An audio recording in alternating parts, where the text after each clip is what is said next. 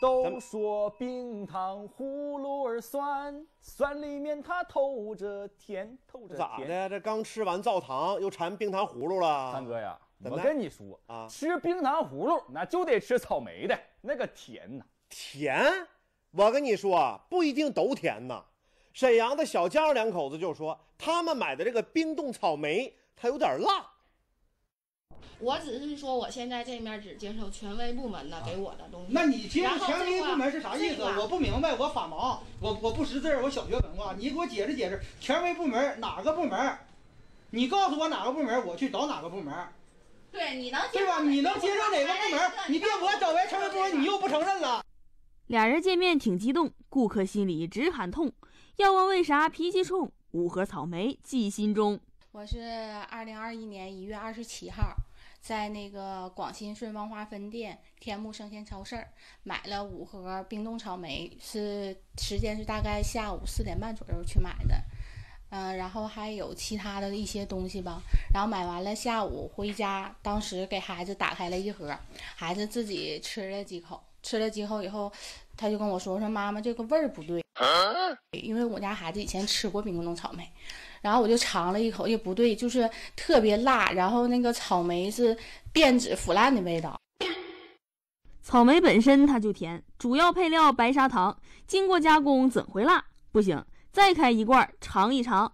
啊，一共买了五盒嘛，又打开了三盒，全是这种味道，全是变质的。我看了一下产品的生产日期是二零二零年十一月二十一号，然后又看了一下保质期是一年的保质期。产品压根儿没过期，这个口味啥问题？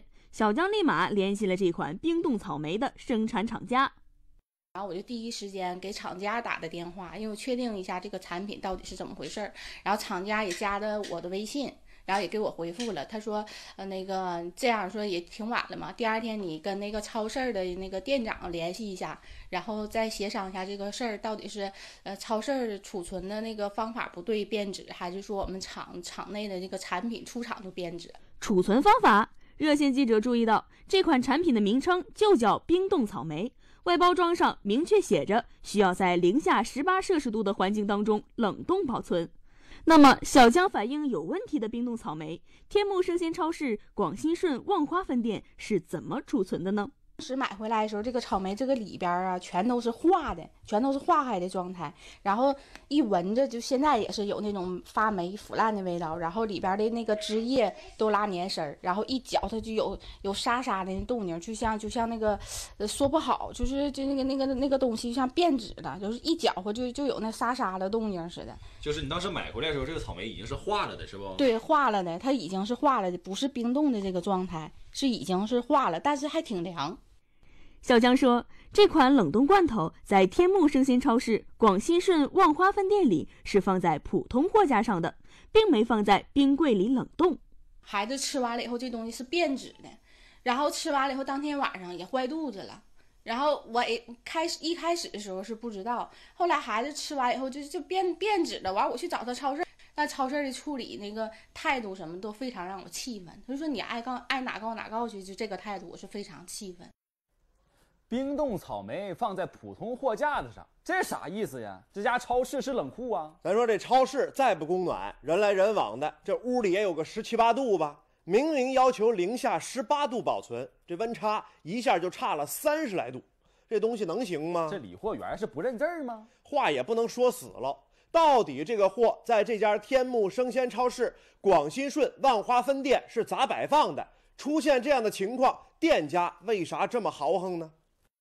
当时那天的那个男店长要给你解决底下那个啊，对，他说男店长解决，没解决他给解决了，他说给退。我现在要求诉求不是说退就能。你的诉求可以，因为啥？咱们吧，就是说今天电视台呃两位就在这你的诉求可以。对啊。你如果是真是说觉得我家这个草莓你吃完之后了，就是说你发生任何状况，你有出具你的相关的这个这个，就是说证明是我这个。就我咱家这个东西引引起你这或者孩子或者你们有有什么那啥的话，咱们可以就是啊呃，我们我们是中间商，我们上的货呢找厂家，因为这个这个东西没没有过期，就是因为我们这边已经跟厂家沟通过了。啊。他这个草莓给我来，他这个草莓啊，嗯，它上面有说明书，嗯，就是这个明确写明是在这个储存存环境是在零下十八度，这是写的。这个保保管方法，零下十八度以下。但是当天呢，我们这边消费者买的是在那个货架上拿的，不是在冰柜里拿的。所以不，你听我说呀，这种东西呢，也不完完全全放在冰冰冰我知道冰柜里卖。我知道，无论是放在哪儿，咱是不是得保保持这个冰冻保管，零下十八度，咱是不是？嗯嗯。就是说什么意思？这个东西呢，就是说那天他来的时候，我们是下架，正常正价这个是八块钱一个，知道吗？我们那天来呢，就是服务员也是正常两块钱卖是啥？他有就是就是处理，不管是不是处理品，咱是不是第一首先得保证这个产品安全？我也刚才了解了一下，问了一下，嗯，呃，咱们上边的那个副管告诉咱们是晚，咱们晚上是放我们那个冰柜里了，白天然后再拿出来销售，就咱们家这个温度，不不能给它造成说它这个东西是变质了。当真这款冰冻草莓的储存方式可以先冷冻再常温吗？这样的销售情况，生产厂家知道不？我们上面写的很清楚，必须得零下十八度保存，因为这是冻品，它不是说呃像罐头类类的什么是就是常温保的，这个常温保存不了。商家他说那个他们晚上会把这个产品放到冰柜，但是拿出来卖的话会摆在那个台上，在这期间这个产品会不会出现因为这个保存不当出现变质？这个也不行。厂家的这个说法，热线记者如实转达给了沈阳市天目生鲜超市广西顺望花分店的工作人员。此刻，一店之长的态度变了。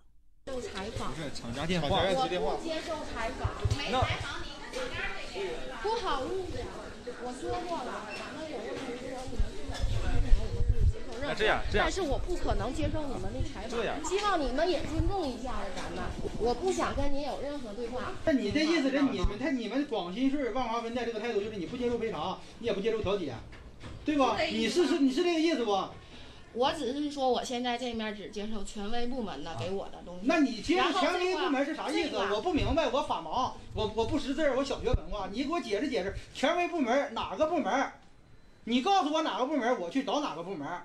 对，你能接对吧？你能接受哪个部门？你别我找完权威部门，你又不承认了。你说，咱当着媒体的面，咱们咱们也是那个什么，咱们也是商家，所有的权威部门，咱都可以说说对咱们这一块有管制。那我现在问你，你这食品变质是不是已经违反了食品安全法？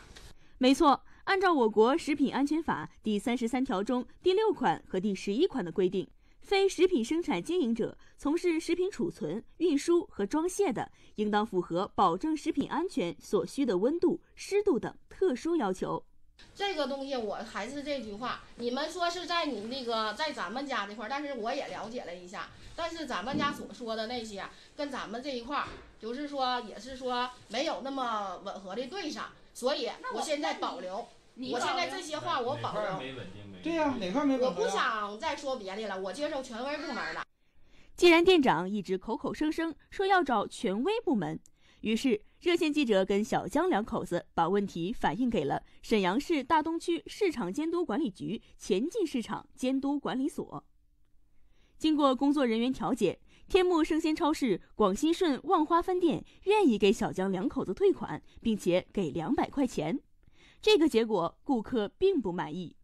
经过调解，商家愿意补偿二百元，然后我接受不了，我准备走司法程司司法程序，然后为自己维护合法权益。根据这个食品安全法第一百四十八条的规定，消费者因不符合食品安全标准的食品受到损害的，可以向经营者要求赔偿损失，也可以向生产者要求赔偿损失。生产不符合食品安全标准的食品，或者是经营明知是不符合食品安全标准的食品，消费者除要求赔偿损失外，还可以向生产者或者生经营者要求支付价款十倍或者损失三倍的赔偿金，增加赔偿的金额不足一千元的为一千元。所以我们这个案件中的当事人是可以向这个出售商品变质商品的一方要求一一千元的赔偿金的。现在这小江两口子态度很坚决。一定要把冰冻草莓拿到相关部门去鉴定，证据就是硬道理。这正是原价八块卖两块，打折产品别搞怪，这样存放可能坏，心平气和别见外。